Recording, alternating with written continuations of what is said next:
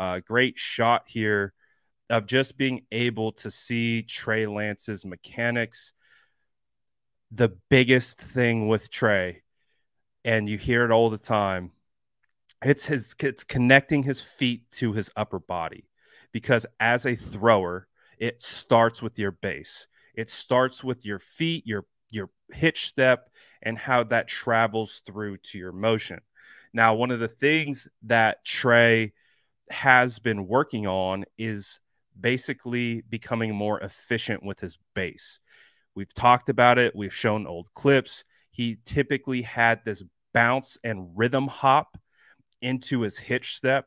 So he would rise and then drop. And from a quarterback perspective, that's wasted motion. That's added time. Again, milliseconds matter um, from the quarterback position. I mean, ask Brock Purdy. You know, milliseconds matter, timing matters. And so eliminating the rhythm hop to how exaggerated it was compared to what we're seeing now in this particular clip, just talking about the base specifically, you can see tangible improvement. You can see that. You can literally see based on how we've tracked from pre draft, post OTAs as a rookie, second year training camp, and now we're heading into year three.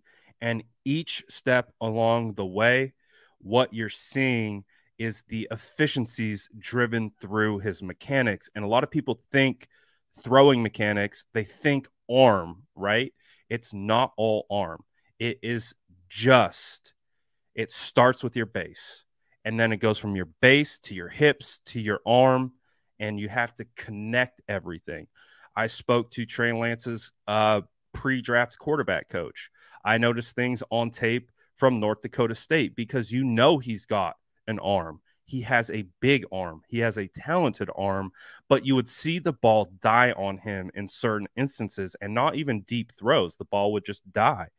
And I asked his coach about that. I said, what is like why is this happening because it's not because he's lacking of an arm but what what is the situation here and he said the biggest thing with Trey Lance is connecting his feet to his arm and that was before he took one step into OTAs. And now we're heading into year three of OTAs, and we've been able to see the progression.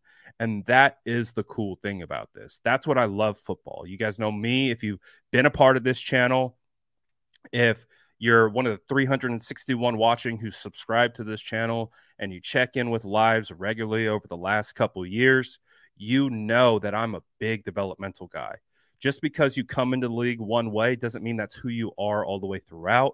And with Trey, he came into the league extremely raw, them trying to figure out certain things within his mechanics and trying to adjust and make it more efficient so that it can translate into better accuracy, more uh, better timing with his throws, et cetera, et cetera. We're getting to that point where if this is Trey in games, if this is Trey as we continue to see him in training camp, in team periods, then translating that to preseason, then translating that to real games. This is a this is good. This is good for Trey Lance's development.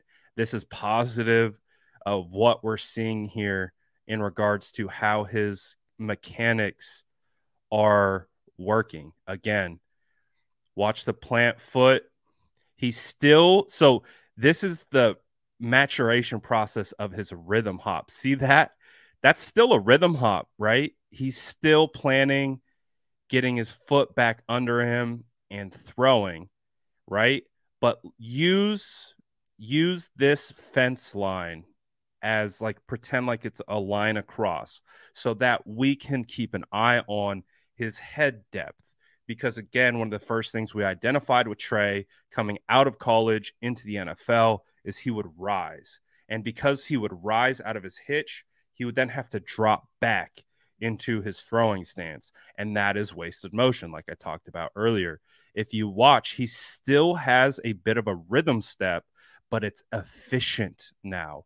See the rhythm? That's still a little rhythm step, but before he would rise and then have to drop back. And it just was wasted time.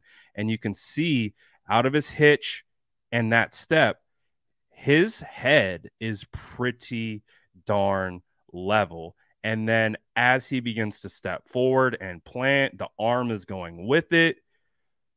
You get the nice 90. It looks tighter because before you could see instances where that ball was kind of hanging out there like this. It looks tighter to his body, which again creates efficiencies in the motion. Front leg before, see that front knee right there? Right here, there would be some instances where he would go flat, like his leg would go straight. And then that also impacts where he can be with his whole base. And you can see he's this is this is great. I'm really happy for Trey because it's been a long journey to get here for this guy. And he's been through he's been through some crazy scenarios um this far in his young career. And again, ideally, right, in an ideal perfect situation, we aren't talking about throwing mechanics this in depth heading into year three. But at the end of the day, this is where we are, and that's okay. And he's only 23 years old, and he deserves the ability and the opportunity to develop. And the fact that he is developing tells you that he is able to, or he is putting in the time, he's putting in the work, he's putting in the effort, all of it to make those corrections. And that is what is exciting about this clip. Again, against air, no pads, warm ups, individual drills. It should look good. It should look pretty. It should look nice, right? But with Trey, it hasn't been that way.